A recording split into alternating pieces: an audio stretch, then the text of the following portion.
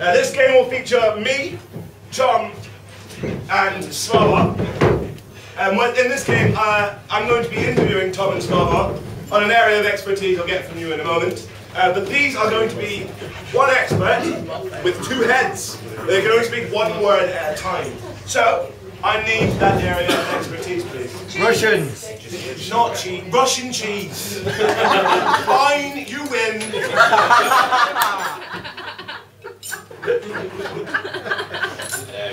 Hello and welcome to Colder, Colder, Warmer.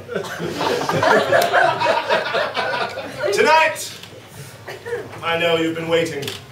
We're finally going to do that segment on Russian cheese. We have Dr. Vladimir in. Dr. Vladimir, how is it that they're putting the holes in the cheese? Oh, that's Swiss. Never mind. Carry on. That Is a very good procedure that often goes wrong.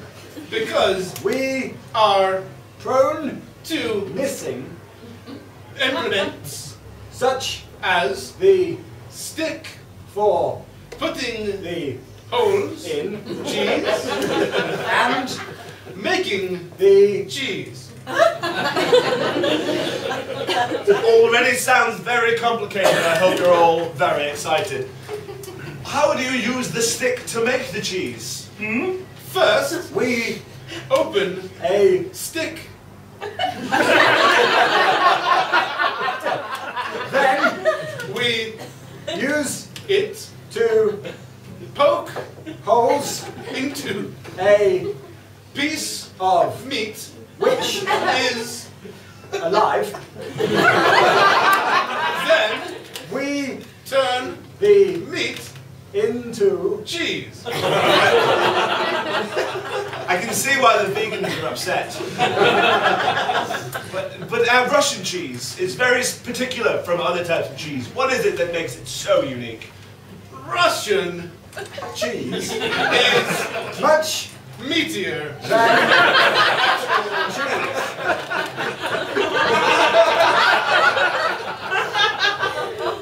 I did read that in the pamphlet that you've sent out. Yes, very interesting indeed. When did this fascination with Russian cheese begin for you? When I was very young, I killed many cows. I took my remaining weapons and hid them inside a dead goat. that Became a inspiration for meat based cheese.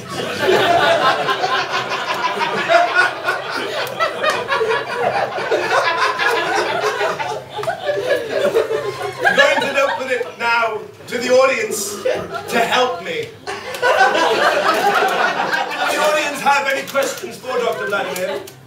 Is it vegetarian? Is it? Is the cheese suitable for vegetarians? No.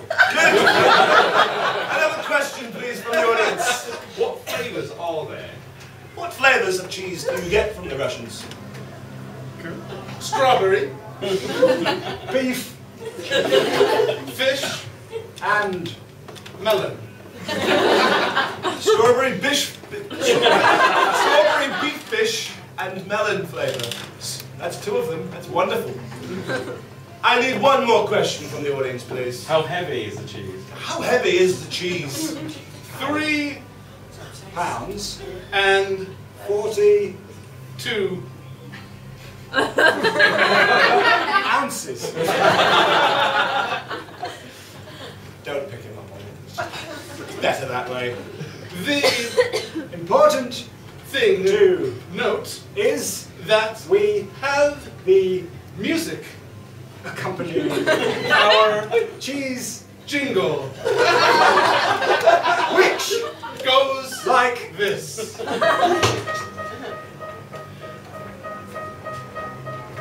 Russian cheese is very nice.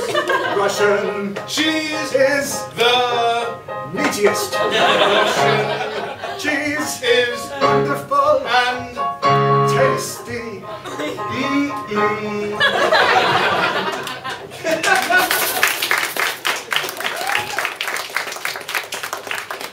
I'm already getting hungry.